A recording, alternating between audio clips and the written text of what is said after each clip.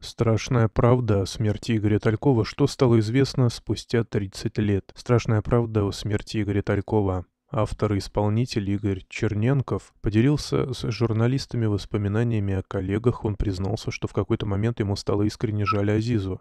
В этом году исполнится 30 лет со дня трагической гибели Игоря Талькова. Напомним, музыкант был убит 6 октября 1991 года в Дворце спорта «Юбилейный» в Санкт-Петербурге. Спор о том, кто же виноват в ужасающем событии, и тут до сих пор. Официально подозреваемых двое – Валерий Шляфман и Игорь Малахов, который на тот момент был возлюбленным певицы, а в 2016 году скончался. С последним погибшего исполнителя случился публичный конфликт за некоторое время до выстрела. Несмотря на то, что напрямую мало кто подозревал саму Азизу в убийстве, тень события легла и на нее. Артистка тут же оказалась в центре внимания. Некоторые, как Игорь Черненков, жалели ее, другие же обвиняли во всех грехах и не упускали случая, чтобы унизить знаменитость. Артист рассказал, что на одном из мероприятий выступали все звезды отечественной эстрады, Азиза хотела развлечь публику, а потому принялась собирать всех участников события в круг. Она подошла к трем крупным мужчинам, которые, как оказалось, потом служили в правоохранительных органах. Однако дружеский жест певицы был грубо отвергнут «Убери руки и не подходи».